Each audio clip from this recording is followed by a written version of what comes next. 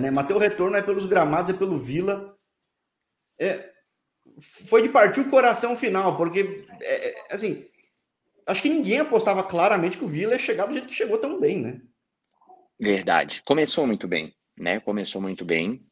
E como né, não era para ser normal, né? Mas a gente sabe que é bem, bem comum o time acabar, às vezes, é, é, né, não conseguindo manter, porque é muito, muito, muito difícil num brasileirão, cara, liderar de ponta a ponta, é, manter uma regularidade, mesmo que seja sempre dentro de um G4, é, é muito difícil, sabe? São, são, são N fatores, né? lesões, é, as viagens, o desgaste, competência dos outros times também, né? Do outro lado também, sempre com excelentes jogadores no Brasil, meu Deus. É, tu pega um time de D aí, é um cara que tem mais qualidade de um cara que tá na A, e assim vai. Às vezes é uma questão de oportunidade no instalar de dedos, coisa de duas, três semanas. O cara tava num estadual, com, fechou com, com médio para grande, mas daí tá fazendo uma, uh, sei lá, uma final de Copa do Brasil e mete um gol, sabe? Assim, e vira o, o cara que vai assinar por cinco anos num, num Palmeiras Flamengo. Tipo, entendeu? Assim, é, é né, muito, muito dinâmico, muito rápido. Então, assim, acabou que teve essa um pouco de derrapadas ali no, no meio da, da, do campeonato e uma grande arrancada no final ali quando já estava parecendo que assim é começou bem mas pô não conseguiu chegar. Quando estava já meio que definindo essa situação a gente ganhou uns três quatro jogos seguidos e os outros resultados também nos ajudaram demais. E chegamos para o que era mais difícil chegar no G4 na última rodada, última rodada dependendo de si que é o que todo clube queria, né?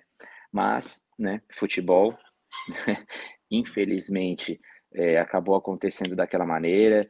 É, foi doído demais, cara, assim, porque, olha, é, é, ia ser, sem dúvida nenhuma, de todos os times que subiram ali, o do Vila seria o mais legal.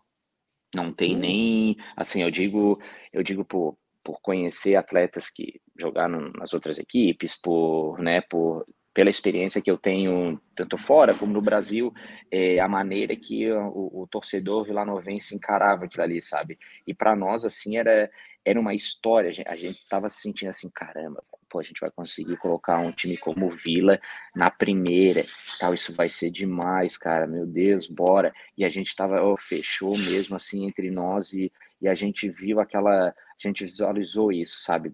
Ali pô, vamos dar que a gente vai fazer história, bora. É, renunciamos muitas coisas, a gente sabia que ia valer a pena, né? Porque, como eu disse, ia ser, ia ser histórico, assim, pro, é. pro Vila, sabe? E no próprio. O Vila é um remo, assim, que você até pensa, como é que faz tanto tempo que não tá é, numa Série A? Não isso, chega a passar na Série A. O próprio né? futebol brasileiro em si, por, e por isso que eu comento, assim, o Brasil, o Brasil ia é, o Vila tem um carinho também do, do não só do Vila Novense, né? O tipo de, de equipe que, que traz aquele é, folclore, né? Que é uma equipe muito tradicional, tá tanto tempo que não consegue, né? E, pô, e a gente teve essa oportunidade ali, assim, de, de conseguir isso e realmente, é, assim, foi de, cara, foi esse, foi, foi um fim de ano, assim, bem, sempre o cara parava, assim, vinha aquele fantasma assim, pá, como é que a gente não conseguiu esse acesso, cara? Não acredito e tal.